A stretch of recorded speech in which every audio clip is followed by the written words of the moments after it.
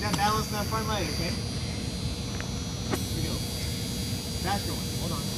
Ready? One, two, three. Good.